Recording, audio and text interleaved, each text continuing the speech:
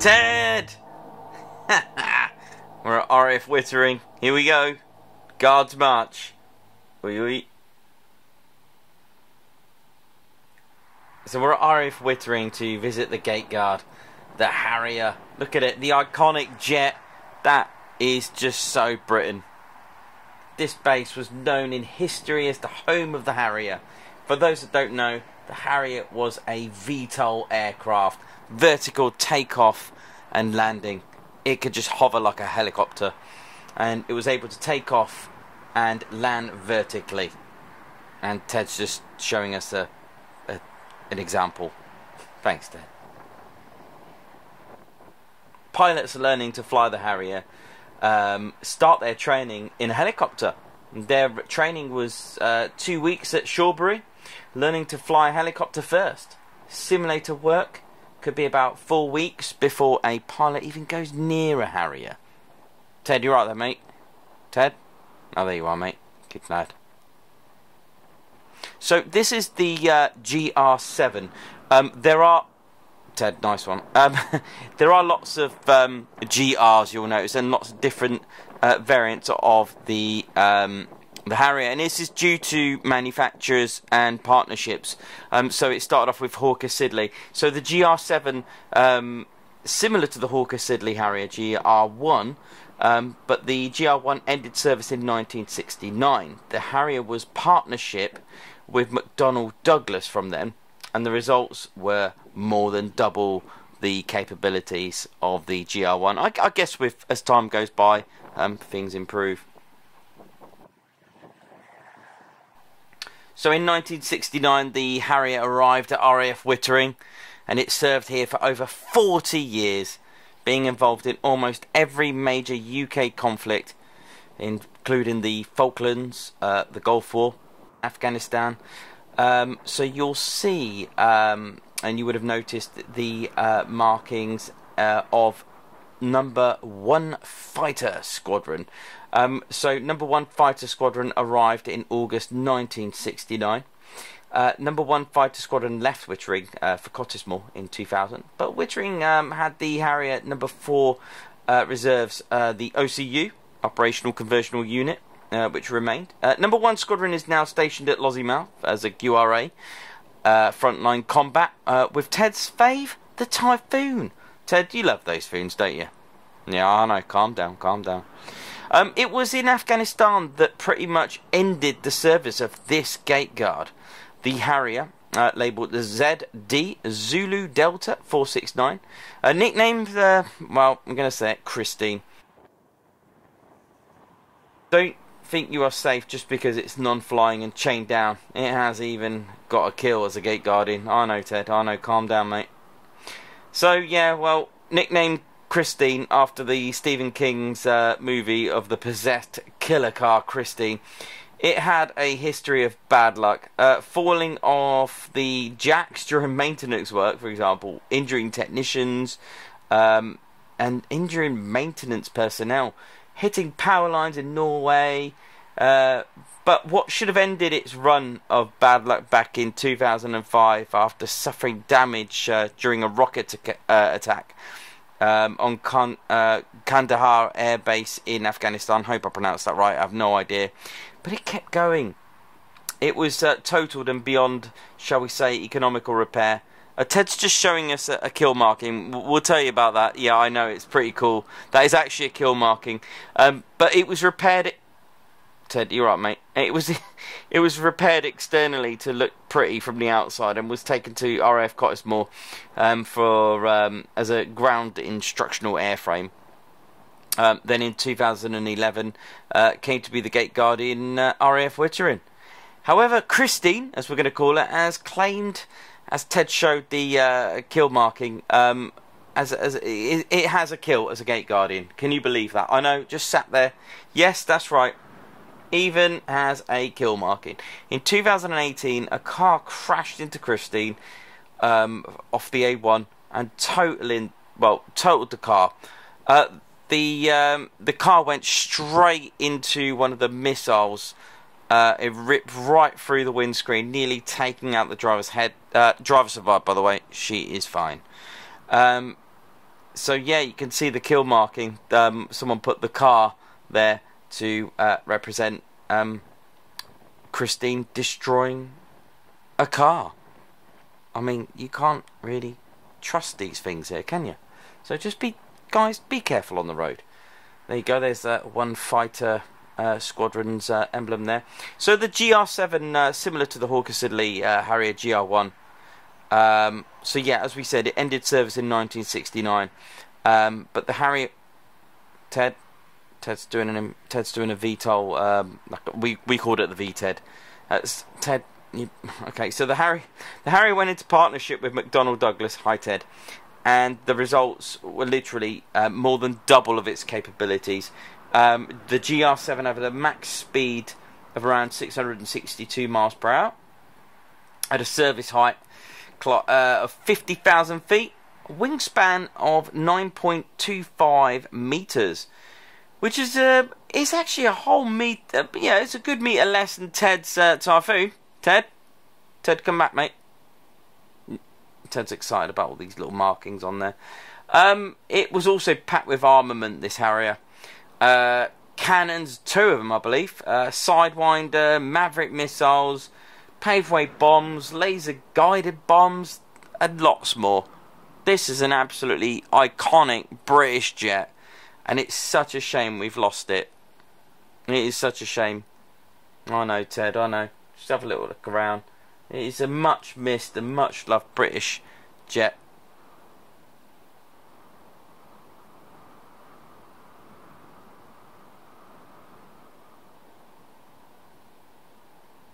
So much history it's got.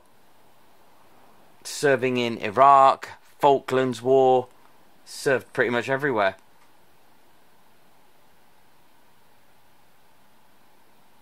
Ted, what are you doing now, mate? You're still excited about this, aren't you? We're going to have to show some examples of it flying, aren't we, I think, mate? Yeah, I know, I know. Whee! Ted, calm down, mate. What are you going to do now?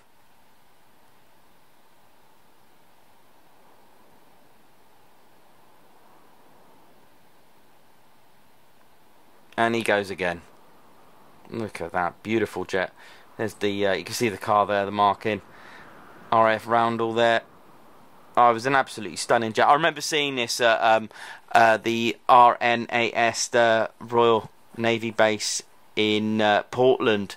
I remember seeing, okay, it wasn't the GR7, but it was a, a Sea Harrier. Oh my days. I was only 10, and it was amazing. I know, Ted. Ted, be careful that road, mate. What we got here? Oh, wow. Nice.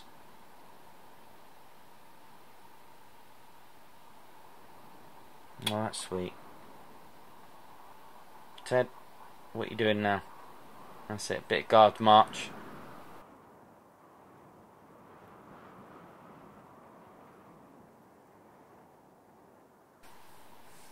Oh, this is where the car smashed into this. I know, pretty bad, wasn't it? Straight into the windscreen.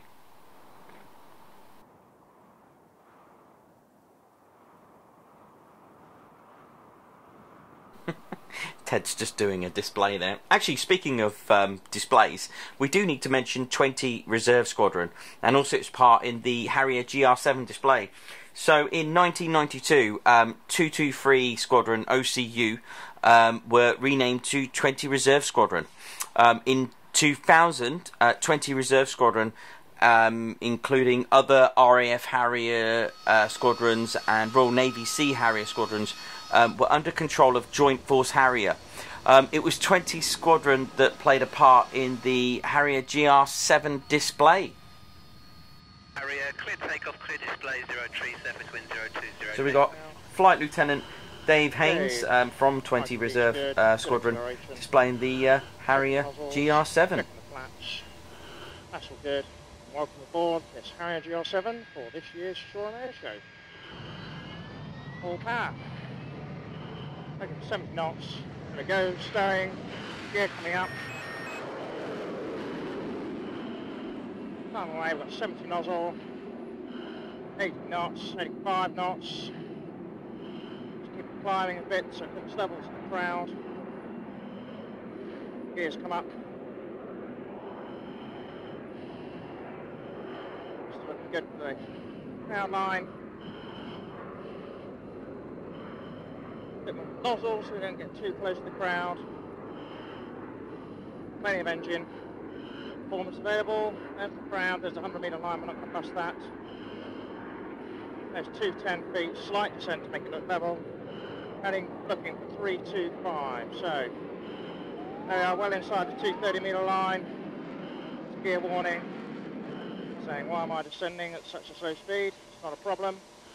Okay, we're starting nozzle out now. Looking for 325. There's 325. Okay, nozzle's fully off. Got full power. Get rid of our stall flap. Looking for 230 knots. 230, pulling up.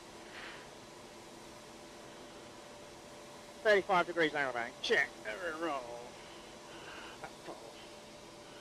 There we are, at 2,000 feet. Okay, looking for the crowd line now. Setting up for inverted pass. Three, three and a half G around the corner. Accelerating all the time.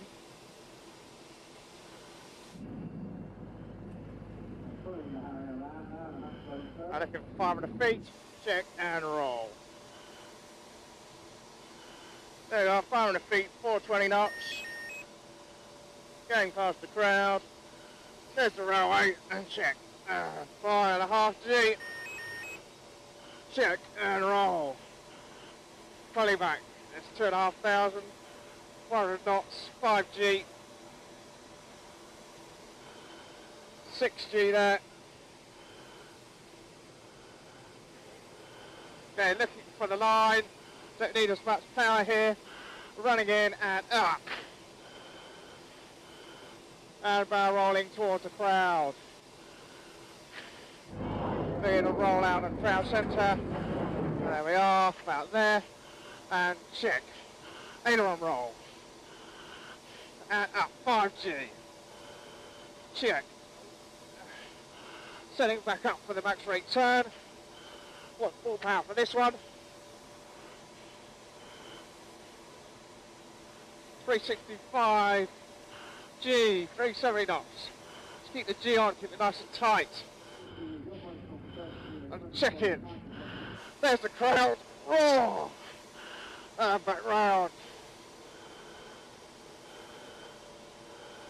Plenty of G, five and a half, six G. Climbing to make it look level. And then descending back down the other side. There's the college, looking for 255.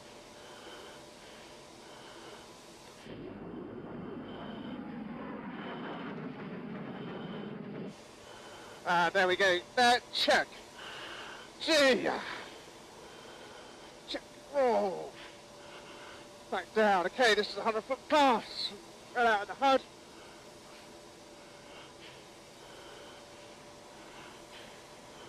Go looking for 500 knots at least. Diving down.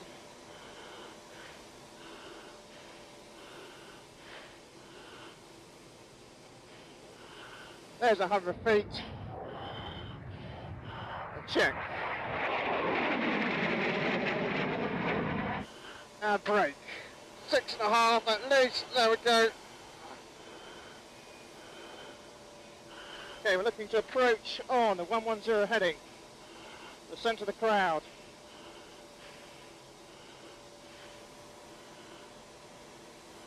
It's about there. Got an allowance for the wind.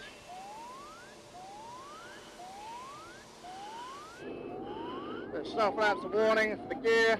Get rid of that. Thank you very much. We don't need that. Stop, stop, stop. Okay. There's the point I picked. Now decelerating. Descending all the while. There's the gear warning. Not a major problem. There's 25 knots. Still coming down. There's water flowing there and sailing into 150 feet. Gears coming down now. And oh, to 160. Come to a stop, gears down. Right, we go right turn 293.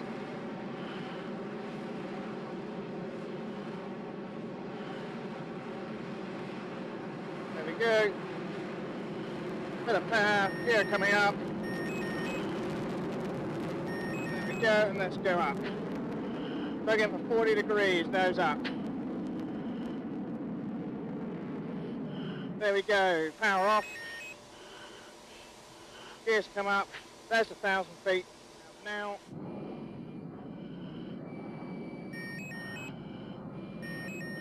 four greens. That caution's fine. Go 25 degrees nose down.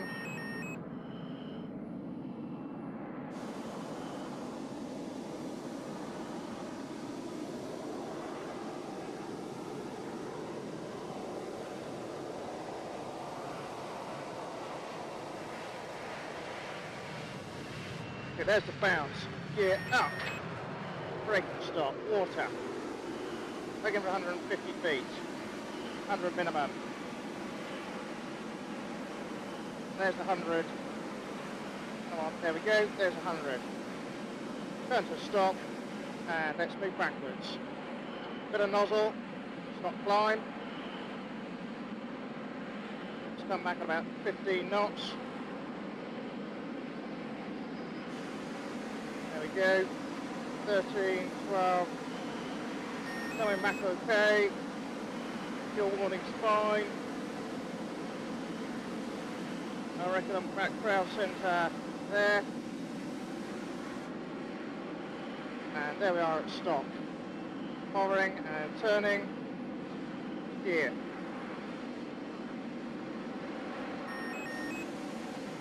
Still level.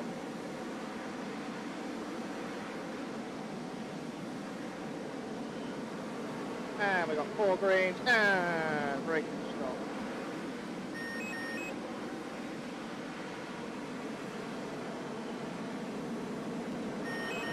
Okay, that's fine. And let's go sideways.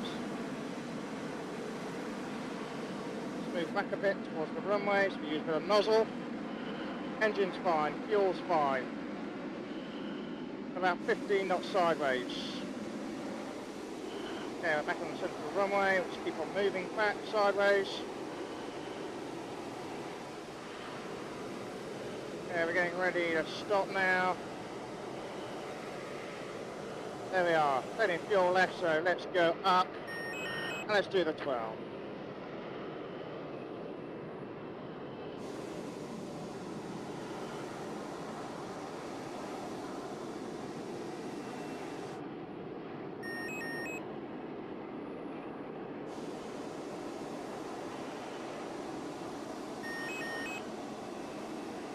And now we're going down. Gear's definitely down. Got 50 knots. And landing is great. Flaps up, water's off, trims. Ladies and gentlemen, that was the GR7 display. Hope you enjoyed it.